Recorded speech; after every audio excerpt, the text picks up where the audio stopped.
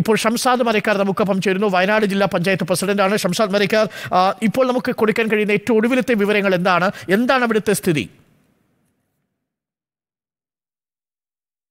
ഷംസാദ് മരക്കാർ കേൾക്കാൻ കഴിയുന്നുണ്ടെങ്കിൽ. നമ്മൾ വെള്ളാർമല സ്കൂളിന്റെ പുറകുവശത്ത് മലവെള്ളപ്പാച്ചിൽ ഉണ്ടായ സ്ഥലത്താണ് ഉള്ളത് ഇവിടെ നിന്ന് ഇത് നമ്മളൊരു പ്രതീക്ഷിക്കാത്ത ഒരു മലവെള്ളപ്പാച്ചിലാണ്. ഇവിടെ ഒരുപാട് ആളുകളെ ഇപ്പൊ റിക്കവർ ചെയ്യാൻ പറ്റി എന്നുള്ളതാണ് ഒരു ഗുണകരമായ വാർത്ത. വീടിന്റെ മുകളിലൊക്കെ കയറി നിന്ന ആളുകളെ ഇവിടുത്തെ ആളുകളും എൻ ഡി ആർ എഫ് എല്ലാവരും കൂടി ചേർന്ന് റിക്കവർ ചെയ്തു. പരിക്കുള്ള ആളുകളെ നമ്മൾ ആശുപത്രിയിലേക്ക് മാറ്റിക്കൊണ്ടിരിക്കുകയാണ്. പക്ഷെ വലിയ രീതിയിലുള്ള കാഷ്വാലിറ്റി ഇവിടെ ഉണ്ട് എന്നുള്ളതാണ് വലിയ ഖേദകരമായ കാര്യം.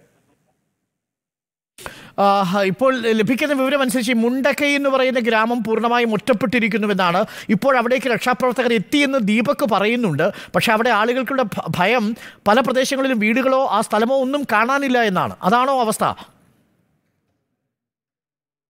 മായ കാര്യമാണ്. കാരണം മുണ്ടക്കൈക്ക് നമുക്ക് ഇതുവരെ എത്താൻ പറ്റിയിട്ടില്ല. കാരണം നമുക്ക് അവിടെ പോകാനുള്ള പാലം ഒലിച്ചു പോയ ഒരു സാഹചര്യമുണ്ട്.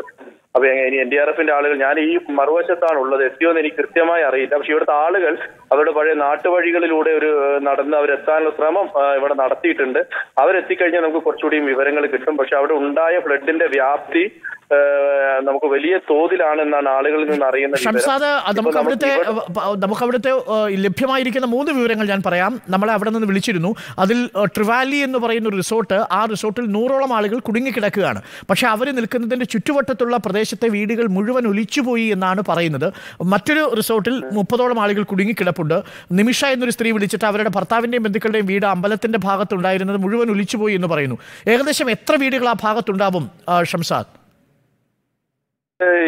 കുറച്ചധികം വീടുകളും റിസോർട്ടുകളും ഉള്ള മേഖലയാണ് മുണ്ടക്കൈ. മുണ്ടക്കൈ എന്ന് പറയുന്നത് മേപ്പാടി പഞ്ചായത്തിലെ പതിനൊന്നാമത്തെ വാർഡാണ്. പക്ഷെ അതിന്റെ ഒരു വശത്താണ് ഈ അപകടം ഉണ്ടായത്. ഏകദേശം ഇരുന്നൂറിലധികം ആളുകൾ താമസിക്കുന്ന ഒരു പ്രദേശമാണ്. അപ്പൊ ഈ ഇതിന്റെ നമ്മൾ ഫ്ലഡ് തുടങ്ങിയതിന്റെ സ്പോട്ട് നമുക്ക് ഐഡന്റിഫൈ ചെയ്യാൻ ആയിട്ടില്ല.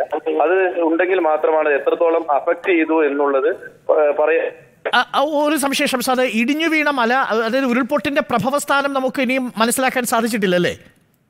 നമുക്ക് മുണ്ടക്കയിലത് നമുക്ക് ഇവിടെ നമുക്ക് വെള്ളാർമലയിൽ നമുക്ക് മനസ്സിലായി. കാരണം നമുക്ക് അവിടെ പുഴ രണ്ടായി വഴിമാറി ഒഴുകുകയും കുത്തൊഴുകുകയും ചെയ്യുന്നതാണ് ഇവിടുത്തെ അപ്പം മനസ്സിലായി. അല്ല ഉരുൾപൊട്ടലിന്റെ പ്രഭവസ്ഥാനം മനസ്സിലാക്കാൻ സാധിച്ചിട്ടുണ്ട്? എവിടെ നിന്നാണ് ഉരുൾപൊട്ടി തുടങ്ങിയതെന്ന്? ഏത് മലയാണ് ഇടിഞ്ഞതെന്ന്?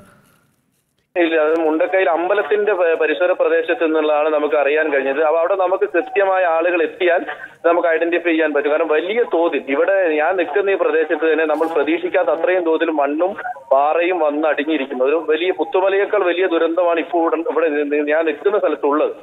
അപ്പോ അതിനേക്കാൾ വലിയ രീതിയിലായിരിക്കാം ചിലപ്പോൾ മുണ്ടക്കൈ സംഭവിച്ചിട്ടുണ്ടാവുക. അവർ പറയുന്ന വിവരങ്ങൾ അനുസരിച്ചാണ്.